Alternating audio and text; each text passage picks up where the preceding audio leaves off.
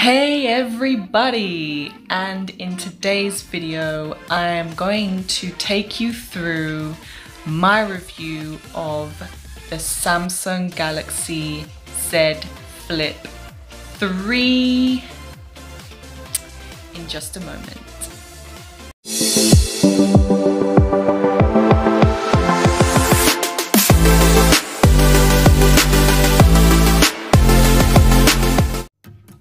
So here it is, the famous Z Flip 3 and this is how it looks half open. And as soon as you close it you can hear that click. That satisfying click. Ooh I like it. So you can see already the design is amazing. It reminds me of the Game Boy Advance SPs back in the early 2000s beautiful design nice and compact. Another thing I want to mention to you guys is the hinge can scratch very easily as it's exposed, especially if you've got the matte black version of the Z Flip 3. Now, there is ways you can get a screen protector, maybe only for the top and the bottom of it, not so much the middle because obviously you want to reduce anything getting jammed in the hinges. So be aware that it can scratch easily if you're not careful. So yes, if you're thinking of buying the device, here are some of the key features you might want to pay attention to. So like I said, the hinges are quite sturdy, but obviously you would want to reduce any debris or dust getting inside as this is not dust resistant. So be aware of that, guys. And um, this looks so gorgeous. You know, the design, the matte finish, it just looks amazing when it's half up. And obviously, closing it, you've got to be gentle. Try not to try not to open it with one hand so yeah, you've got your lovely cameras, you've got the lock screen and the volume keys reverse once flipped down. So that's another cool feature that Samsung have brought in is that the volume keys will indeed reverse. And you can see here that it's scratched a little bit um, so any keys in pockets, just be aware of it. So yeah, but it's barely noticeable, but you can still see a little bits that it was scratched on that corner and this case fits beautifully on it though and it's a clip-on one hardback leather casing so if you want it I'm gonna leave links. So this is the clock I have on display to match the case. And you can also slide to the side left or right to get your timer. You can add another widget on. Um, you can press and hold. So now you can see you can customize your widgets which is really cool so yeah, and you can even customize the clock. So there we go. You've got all your different clocks on display. Pick, choose and refuse. And yeah, so it's a lovely design. I love it. And here you've got your speakers there and there. You've got your type C charging port. And I think those are speakers too. So yeah, you've got all these things and you can see the strength of the hinge once it's flipped over, which looks very sturdy. Again, um, you know, the feature has really improved this year and I'm impressed. So people, if you're trying to unlock the screen, you cannot do that anymore using the actual screen itself. So what you need to do is from the side, as of all the Z Flip series now, is operative on the side for the fingerprint sensor. You touch gently on the fingerprint sensor to unlock it, like that, and then to click off, press the button, and then lightly touch it again and it should work just fine.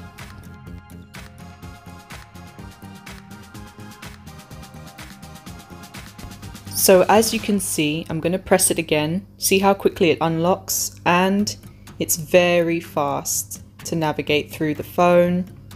I personally love the display as it's more saturated. Some of you like the normal display. I prefer the vivid setting, um, which is really vibrant, very nice. And if you go into YouTube, I'll show you my channel and to play a video, I'll show you the split screen. So once it's folded, all you've got to do is touch on a video of your choice on YouTube and then it would display like this. Look how cool that looks. It looks like paper, like a scroll. So when you open up the video, it should have a split view where the all the other bits come below the screen so you can still navigate through as you're watching the video selected. You can still choose what you want to watch next on the bottom part of the screen. So I find that totally amazing. And then when you flip back the screen it becomes as normal as if you had a normal smartphone and then splits again down the bottom once you flip it halfway, which I find is incredibly cool. As you can see, it looks like paper when you scroll up and down almost where it's folded up, where the hinge is pretty much in the middle. It looks really cool. Okay, so I'm going to show you how to take selfies on the front camera. So you press the lock button twice, double click that, and you can see the preview opens up with a little display. hey guys, don't mind my crazy hairstyle. And as you can see, I'm filming on my Ultra and I wave my hand in the air Wait two seconds and it should take the picture. Yep, let's try that again with my case this time. Got to quickly hold it. oh, okay. Let's see, let's try some more.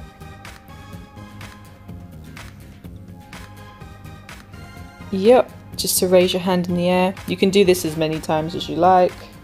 Go trigger happy. You know, you selfie lovers out there. Nice, finally got it. Right, so I'm gonna open up the phone and then I'm gonna show you. To exit out of camera mode on the front facing camera, just click the lock button. Just click it and then now I'm going to open up the phone to show you what the pictures look like. And yeah, for picture quality purposes. So that's ones I took earlier and you can see the pictures look quite detailed. So it's pretty standard stuff. I quite like the selfie cameras, they're really cool.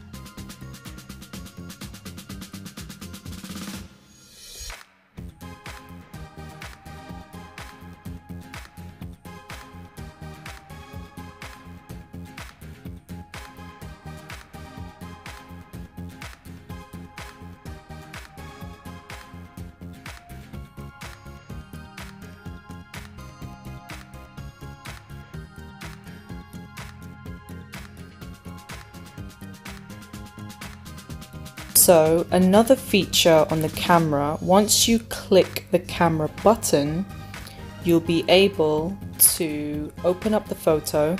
You'll see a touchpad at the bottom of the screen so you can literally navigate your pictures as you look at them and then when you open it up again normal it would center in the middle of the screen for the normal pictures and might I say, it looks amazingly detailed.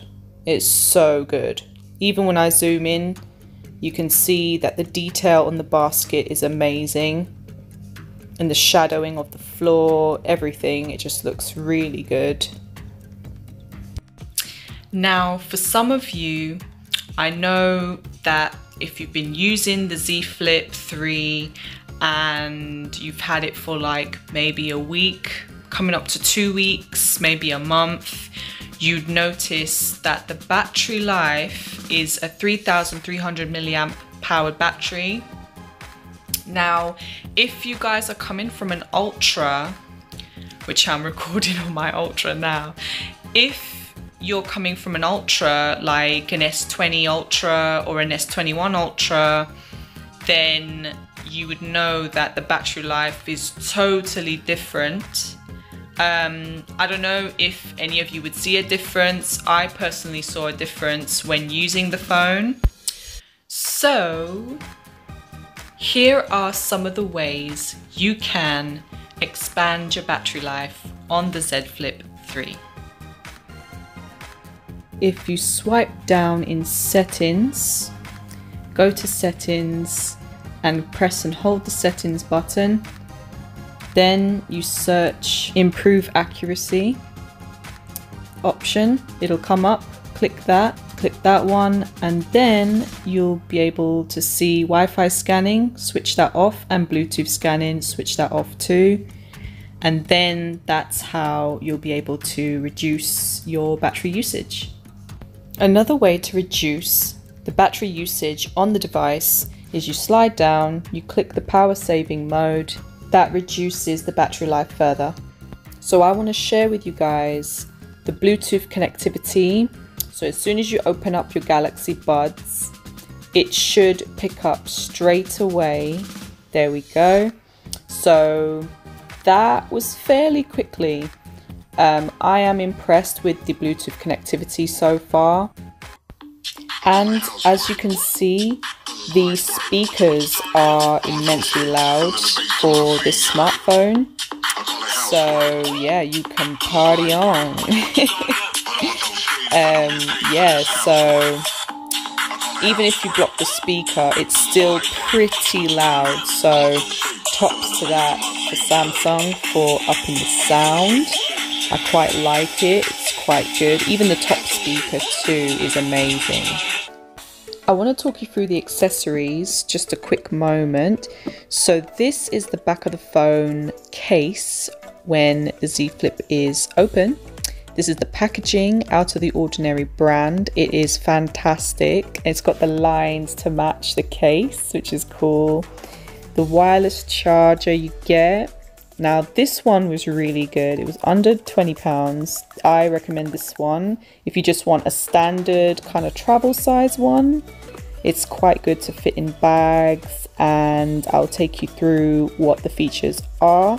So you've got the 9 watt fast wireless charging, the compatibility for the buds and the AirPods, and the LED dimming mode. Yes. And it's very thin and lightweight, and you can take it anywhere. So this is what it looks like out of the box, and it's got an LED lighting and everything else. You've also got the compatibility sign there for the buds and the smartphone. So I'm going to show you what it looks like on the actual charger itself. It could also charge the watch as well. So if you're thinking of charging your watch that you purchase, then you can charge the watch also. So that's what it looks like when it's on display and on the actual charger itself.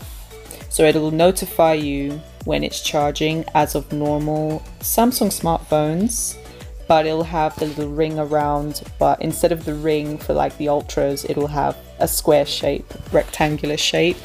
So yeah. So this is what it looks like. There you go. I'll show you again. That's what it looks like when the charger is there so this is what the matte black looks like when the case is off. It's an amazing finish. I love the matte black version. And this is what it looks like when it's open too. So you have the circle feature that it's charging just like the ultra phones and the other S series phones. Just any normal Samsung smartphone would have that now. So that is definitely a really cool feature that you have and nice accessories too. Okay, so with the battery, another thing I forgot to mention is the battery will adjust to your usage on the phone over time. So maybe after the second week, third week coming in of using the device, it will study your daily habits of your daily usage on screen time. So that's another thing um, to take note as well when you're using the device. Um, in case those of you who aren't keen on the battery size or the, the length of the battery during the day and you want to change the device, just know that over time it will indeed study your patterns of usage.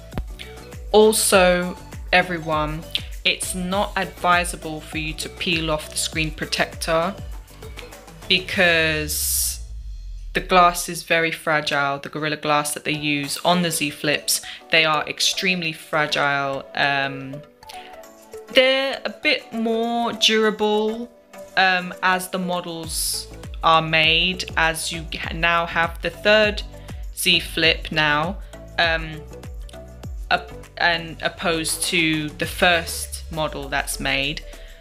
But um, it's not advisable to take off the protective layer um, once using the phone because it could indeed shatter the glass. It has a more chance of shattering.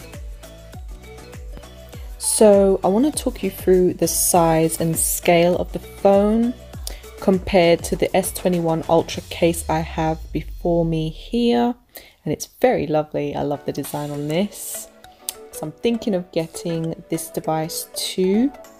So just in comparison, you can already see that this display is more narrow in the width and smaller in the length just by a little bit as it's a 6.7 inch display for the flip and for the Ultra, the S21 Ultra is 6.8 inches. Yep, so you can see compared with the speakers, if you put it together against each other, and it's narrow, it's more easier and compact to hold. Purpose of the flip, of course.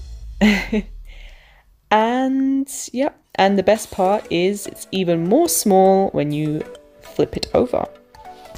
This device is also available, as you may all know, in 5G. I repeat, it is available in 5G, but however, it is not water resistant. I repeat, it's not water resistant, but it's fantastic all the same. The cases, the accessories, everything. So, there are some cute accessories for this device and some of them are pictured here for you to see. If you guys have the phone and you're interested in buying any of these products right here, all links are below. So everyone, that concludes my review on the Z Flip 3 and I am looking forward to seeing the new devices that are out in future. We everyone knows that there will be the S22 series and range coming. Um, preferably, you know, maybe February. They're looking at to start it February. We don't know yet. Um, so yeah, we just gotta wait and see what it has in store for us. So those are the features that I found was good, not so good, and also, you know, reliable as well. Because obviously you need a phone that's reliable. Comment down below guys what you found good about it, what you didn't like about it. If you're excited to see the new S22 series, if you're thinking of getting the new S22 models, or if you're thinking of sticking with your Z Flip 3, do let me know down in the comments section. And I shall see you all in the next video.